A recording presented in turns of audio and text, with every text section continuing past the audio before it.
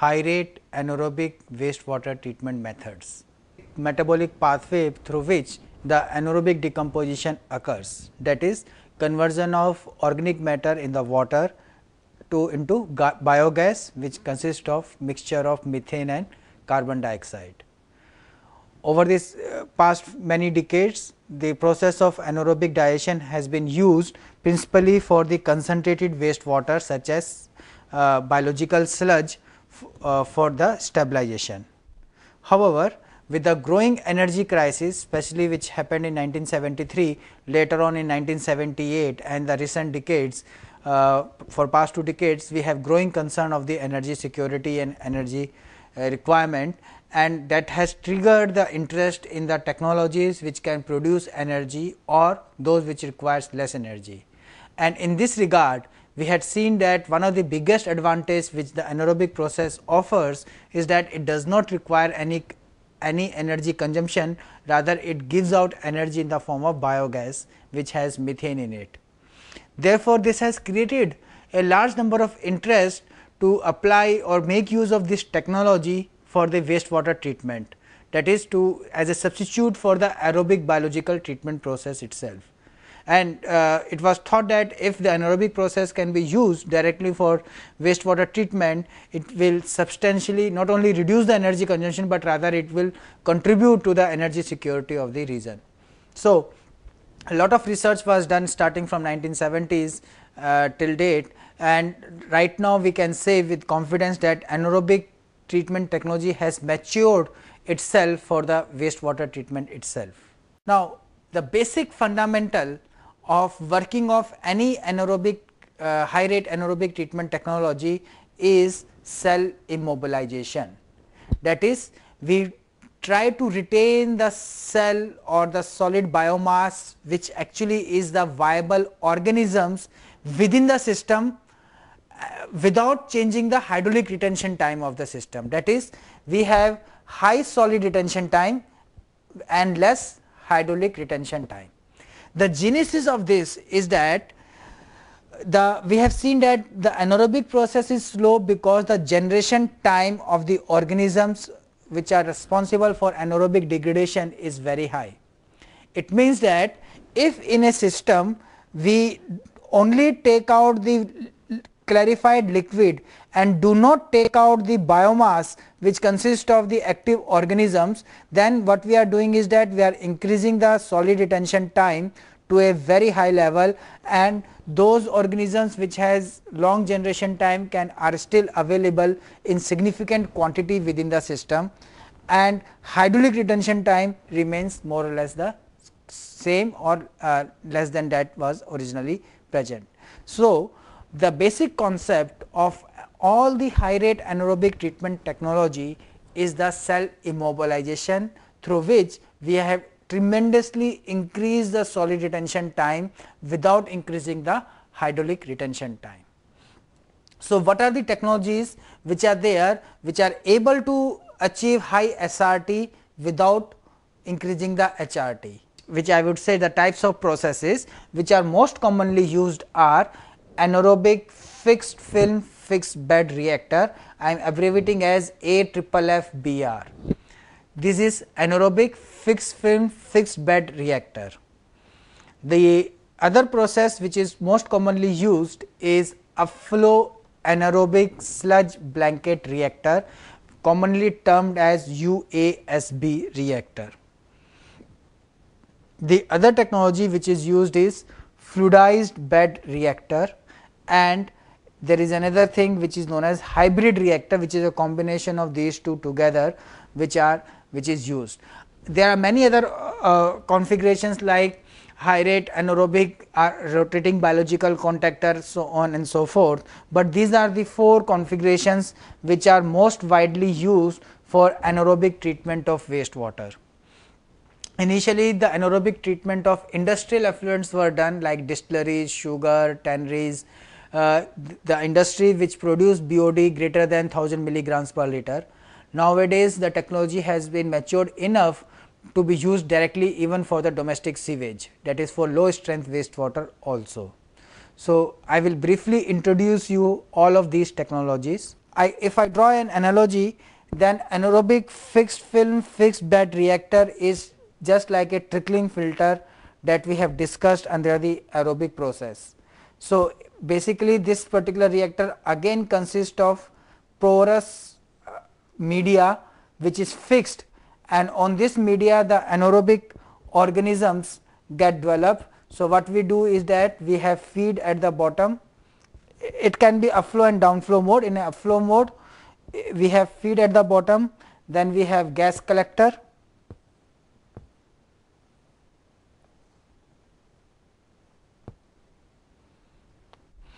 and treated effluent is taken from the top. So, from here we take the effluent, from here we feed, this is a fixed media, this is a completely enclosed system, this is a gas collector from where the biogas is taken out and the effluent is taken out of the system from the top. So, this is broadly the system configuration of anaerobic fixed film fixed bed reactor. So, let me explain you the, the process. It is a stationary fixed film reactor where the cells are deliberately attached to large size solid support. So, this is a large size solid support. The reactor has a biofilm support structure for biomass immobilization. So, these organisms remain attached to the system for very very long time and that is how the cell immobilization take place. Wastewater distribution at the bottom for uniform distribution of wastewater and effluent draw off and recycling facilities. The fixed film reactor offers distinct advantage such as simplicity of construction, elimination of mixing mechanical mixing, better stability at high loading rates and capacity to withstand large toxic shocks. In addition, these reactors can tolerate sudden shocks load at constant hydraulic loading and recover normal performance within few days if the alkalinity is high enough to maintain the pH above 6.2. So, even if there are toxic shock loads and the pH is greater than 6.2 because here the organisms are attached to the media th therefore, it is able to immobilize itself and these organisms do not get easily washed away if there are certain variations in the shocks. The reactor can process different waste streams with little compromise in capacity and can adapt readily to changes in temperature. This is important for installations where wastewater characteristics change rapidly.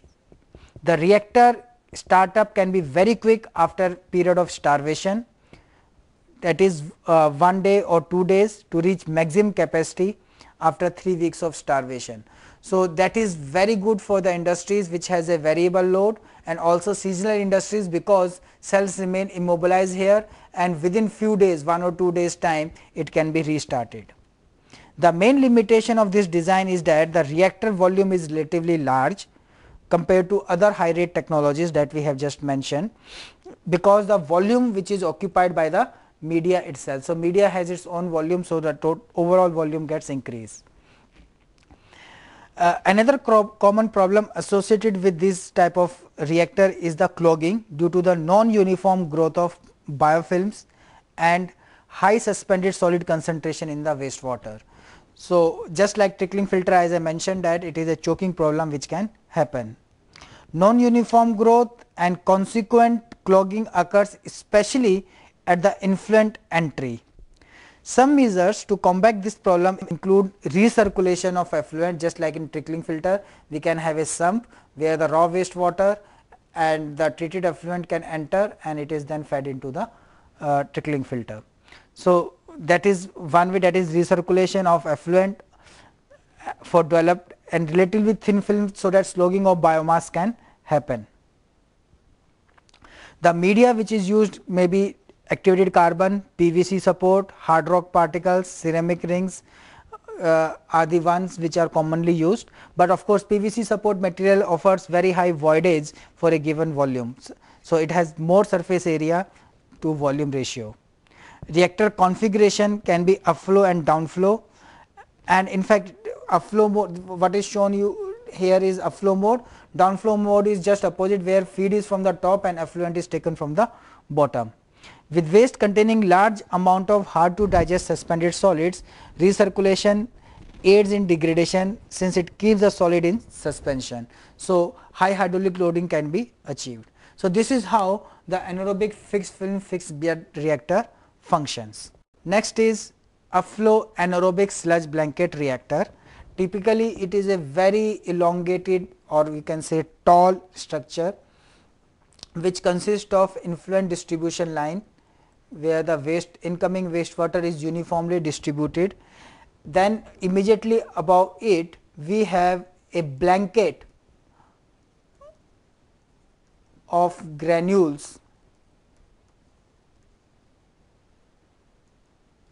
So, this is the zone where we have very high active granules which is nothing but the cluster of active organisms together in the form of a lump. So, the what happens the wastewater passes through it these remains within the system that is how the cells remain immobilized then it has a gas lock solid liquid separator. So, all the gas bubbles get diverted and collected in a gas holder and the treated effluent the top portion acts as a sedimentation tank and the treated effluent is taken from the top. So, here we have feed here is the treated effluent. So, UASB technology is being used extensively for a large number of different types of industrial effluents. The system uses granules as a means of achieving high mean cell residence time or SRT, thereby achieving highly cost effectively designs. UASB process have found a variety of application in recent years in treatment of high, low and medium strength wastewater and a variety of other substrates. The process has been applied to wastewater generated from a wide cross section of industries such as distilleries, food processing unit, tanneries etc. In addition to the municipal wastewater. In fact, in under the Ganga action plan uh, at many of the sewage treatment plant this UASB reactor has been installed. The, the major advantage is that technology has less investment requirement compared to fixed film fixed bed reactor which we have discussed because it does not require any inert media therefore, the overall volume requirement is less and capital cost is less. However, it has its own disadvantage. Dis disadvantage that the startup period of UASB reactor is longer than that of other types of reactor configurations and it requires sufficient amount of time for granular seed sludge to form. Normally what we do we bring some amount of granular seed sludge from the existing operating plants for the startup and significant washout during the initial phases of process occurs and even if there are some toxic shock logs or variable flow rate uh, or variable loading then also the granules has a tendency to get disintegrate and the process gets disruptive. So, on one side it requires less capital cost, but on the other side it is a highly sensitive process. So, basically it consists of a gas solid liquid separator which I had just shown over here to retain anaerobic sludge within the reactor and influent distribution system and effluent draw facility. With a sophisticated feed inlet distribution system in a UASB reactor, effluent recycling is not necessary because we are able to distribute uniformly otherwise effluent has to be recycled partly.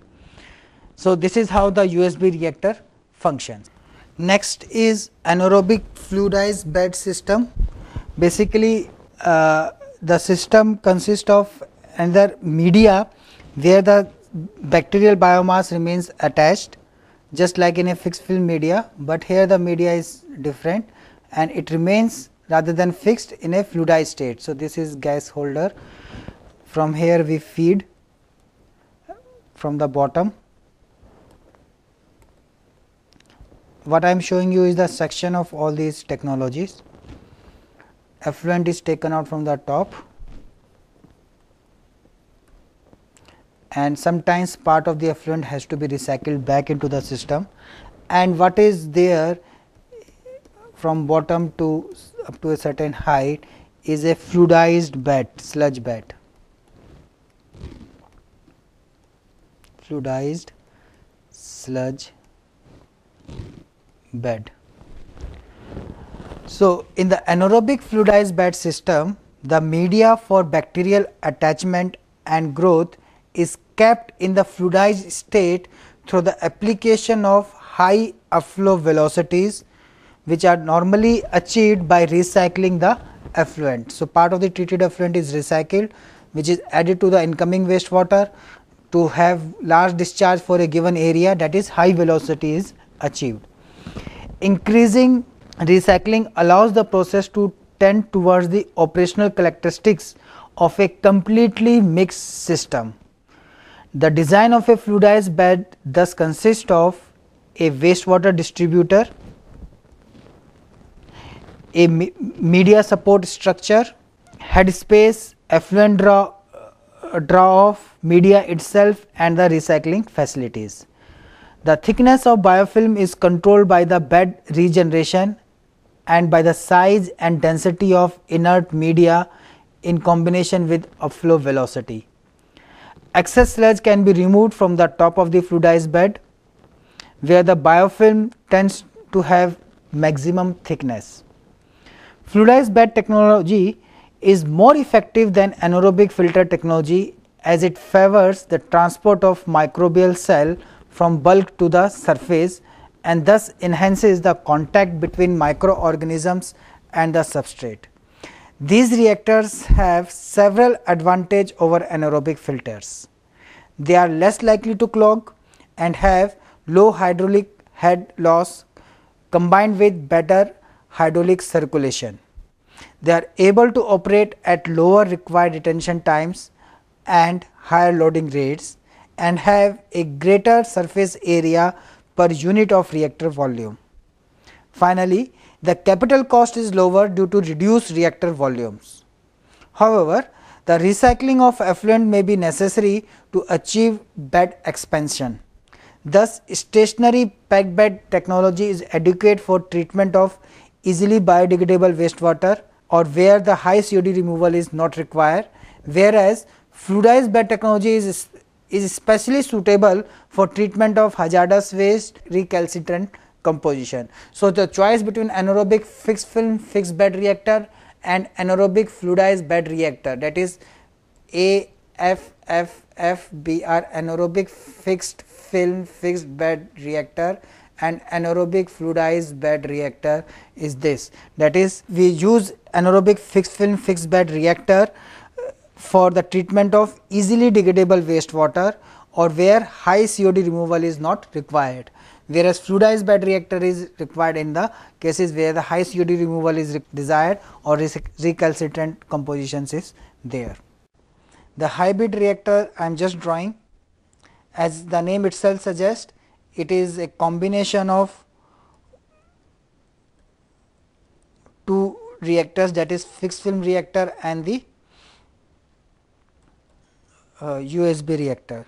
So, at the bottom we have the sludge bed just like a UASB reactor, then we have kind of a solid liquid gas separators.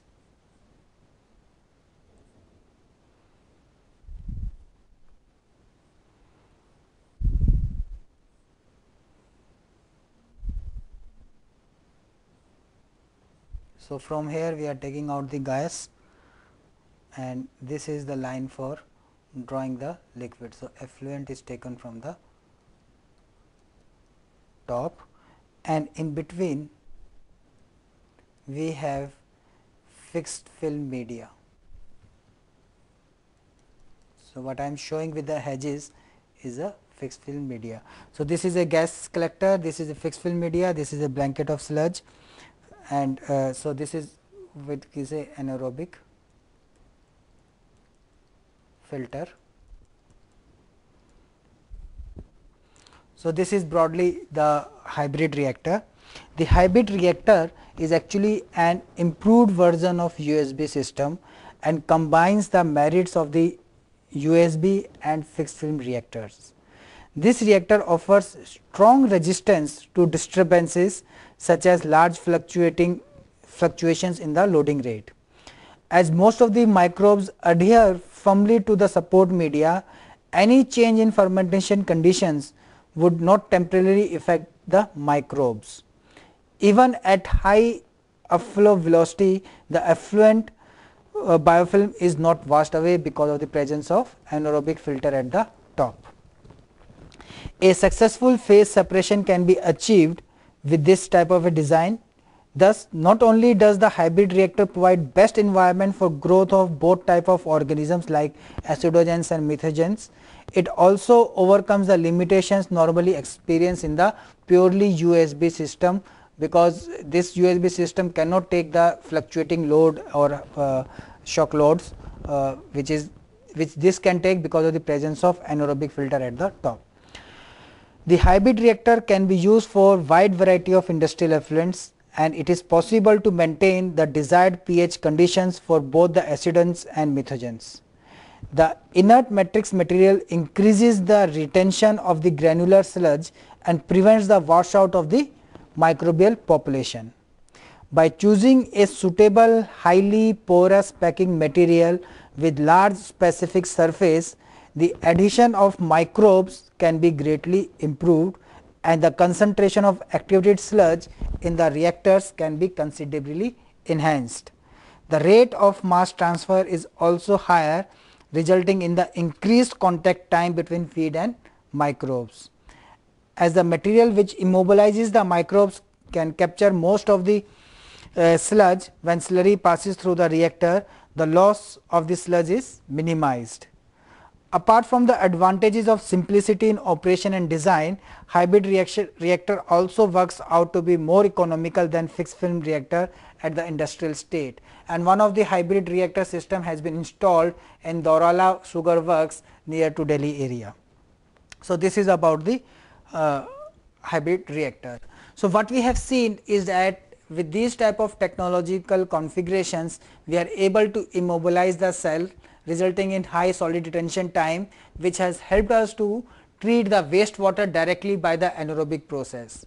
This is a great energy uh, uh, boost for uh, in the field of wastewater technology.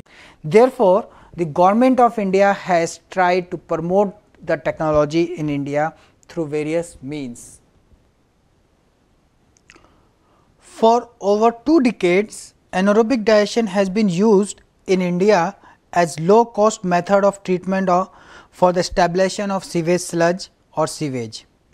India is perhaps only uh, next only to China as far as anaerobic digestion of animal dung in small scale plant is concerned. To meet growing energy needs of the country, the government of India has placed growing emphasis on new and renewable sources of energy as, and as we can see with the increased outlay earmarked for in the 7th plan, 8th plan, 9th plan and 10th 5 year plan. In fact, dur from during 8th plan period about rupees uh, 3.2 billion was allocated for promotion, promotion of biogas through the concreted effort of MNRE and this 3.2 billion dollar was in the 8th plan which has increased almost by 20 percent in the subsequent 5 year plans. So far in India we have 2.7 million biogas plants which has been installed and there is a further potential to install about 1500 million such plants. The government of India uh, has um, as a national apex MNRE is the national apex agency for providing policy guidelines and directions for harnessing bioenergy from urban, municipal and industrial waste. In fact, a pilot program on energy recovery from ener uh, urban, municipal and industrial waste was started way back in 1995. The program that was at that time was made in the collaboration of UNDP and Global Environment Facility and it aims at promotion, development, demonstration, dissemination and adoption of appropriate conversion technologies for both solid and liquid waste through improved waste management and introduction of fiscal and financial incentives. Projects utilizing waste from urban uh, sectors or industrial sector for energy recovery is set up in the national program. The overall objectives of the program are number 1 creation of conducive conditions and for fiscal and financial regime to help promote, develop, demonstrate the energy recovery program and improvement of waste management practices through adoption of technologies for conversion of such waste into energy and third promoting the setting up of projects utilizing waste from urban, municipal and industrial sectors. In addition, MNRE had initiated a project which was partially assisted by UNDP and GEF for development of high rate biomethanation process and actually the aim of that was actually in the direction of as a means to reduce greenhouse gas emissions. Uh, it has a total it had a total outlay of about 400 million rupees. The project covers scaling, validating the full scale demonstration of mature technology. The overall objective of the, that scheme were development of institutional framework at national level to generate necessary awareness and capacities to provide impetus to bioenergy development program utilizing high rate biomethanation process. Second, development of requisite expertise and capabilities in the national and state level institutions including R&D organizations and universities to assimilate and adapt technologies improve applied R&D skills in the field of high rate biomethanation process and to provide technical know-how and assistance in setting up plants using the biomethanation process. Promotion of the use of biomethanation technology and biogas utilization as cost effective means of of energy generation through demonstration sub projects and the national and local level seminars and workshops promotional campaign, training and demonstration. And finally, development of national master plan and shelf of investment proposals to utilize this important renewable resource through commercialization of the processes. So, for to make this scheme effective, it has made use of various financial as well as fiscal incentives.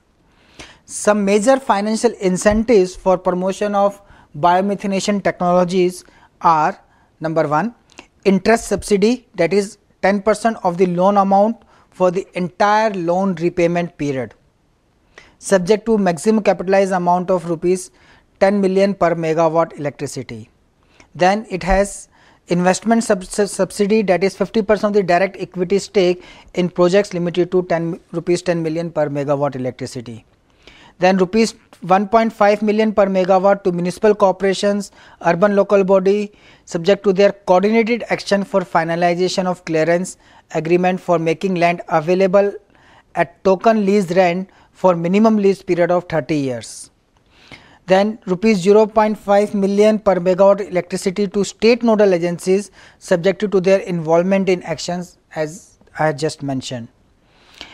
A sum of 2 uh, 2% of interest subsidy channelized through lead financial institution as service charge subject to a maximum of rupees 0.2 million per project on reimbursement basis. State electricity boards are also eligible for various incentives such as 25 percent of the cost of equipment for interconnection evacuation facilities, cash incentive for power fed into the grid, then preparation of detailed project report, technical feasibility report etc. up to 50 percent of the cost subject to a maximum of rupees uh, 0.2 million. Then financial support of up to 50 percent of the project cost limited to 30 million rupees per megawatt electricity including the cost of land as per revenue records. Then cost sharing of up to 50 percent of the incremental capital cost of power generation system at sewage treatment plants itself. So, these are some of the financial incentives which are there. Then it has also various types of fiscal incentives. The fiscal incentives includes tax benefits. First is the accelerated 100 percent depreciation in the first year. Accelerated 100 percent depreciation means any plant or investment made for any plant machinery or equipment in the industry, the depreciation is given at a certain rate every year till the life of that particular thing. But in case of anaerobic digestion technology, the industry can avail 100 percent uh, deduction uh, of the investment made on the technology right in the first year that with this is known as 100 percent depreciation allowance. This is a huge tax benefit. Then also the companies are given tax holiday for 5 years those who are investing in this technology. No excise duty on gas engine and municipal waste conversion devices which produce energy. Then concessional custom duty of 10 percent for all goods imported by a manufacturer or supplier for manufacture or supply of machinery and equipment to power generating plant. Then concessional custom duty that is uh, sometimes 20 percent custom duty plus 13 percent countervailing duty on the project report itself project import. So, these are the some of the fiscal incentives which are provided uh, for the biomethanation technology. So, what we conclude finally is we have traditionally an anaerobic process which was used mainly for the concentrated waste such as uh, sludge generated from the aerobic biological treatment process. This was used in almost all the sewage treatment plants in 1950s, 60s and 70s because anaerobic process was found to be net energy giving and does not require huge amount of oxygen for the process uh, stabilization. It was seen that anaerobic process has many advantages and one of the significant advantage which anaerobic process offers is the energy production. This advantage of anaerobic digestion technology has created interest for the large number of research institutions to engage themselves in further development of this technology uh, starting with the first uh, energy crisis uh, from 1973 onwards. We have seen that by the year 1990 we have some type of technological configurations which are available where we can directly treat the high, medium and low strength wastewater through the anaerobic process route. This actually start replacing the aerobic technologies which are energy intensive. So, we have discussed that almost all these technologies work on the basis of cell immobilization technique which helps to increase the solid retention time without increasing the hydraulic retention time. So, uh, cell immobilization techniques helps in development of the high rate anaerobic treatment technologies. Then we discuss various types of high rate treatment technologies, their fundamental principles of working and how they work and amongst these we have find that anaerobic fixed film fixed bed reactor, anaerobic fluidized bed reactor, upflow anaerobic sludge blanket reactor are most widely used. Each of these technology has their own advantages and limitations. Then we have hybrid technology which is a basically a combination of fixed film reactor and UASB reactor which takes the advantage of both type of systems. In India, many industries are now using anaerobic high rate anaerobic treatment technologies for treatment of their uh, effluent and nowadays even the sewage is being treated by most of these technologies. Under various river action plans, large number of sewage treatment plants have the installation of such type of high rate anaerobic treatment technologies. The penetration of high rate treatment technology has not been just out of the interest or energy crisis, but government has also made concreted efforts towards the promotion of these technologies and basic model which the government has adopted is the two pronged approach both in terms of financial incentives as well as fiscal incentives. Financial incentives is, is in terms of sharing of the revenue, uh, sharing of the cost of the project up to 50 percent. It also includes the interest subsidy, it also includes the purchase of electricity and various other financial incentives which are given. Fiscal incentives in terms of concessional excise duty for imports, then tax holidays, tax benefit, tax benefits, 100 percent accelerated depreciation on plants and equipments and various types of fiscal. So, combination of financial, fiscal and concreted efforts toward the R&D and support to various research and academic institutions has, uh, has been one of the phenomenal factor for the growth of high rate anaerobic treatment technology and its adoption. So, as of now many industries especially food processing industries, tanneries, distilleries are using high rate anaerobic treatment technologies for their treatment. With this uh, I, what I can say is that we have broadly aerobic and anaerobic treatment technologies. Anaerobic treatment was initially considered to be only for sludge because it anaerobic process is a slow process, it is a sensitive process and we have large number of installations which has made use of aerobic technologies. But we have discussed all both the forms of technologies in much details in terms of their working principles and mechanism of working. So, uh, in a, uh, we have discussed the methods for removal of organic pollution in the water or wastewater. Thank you.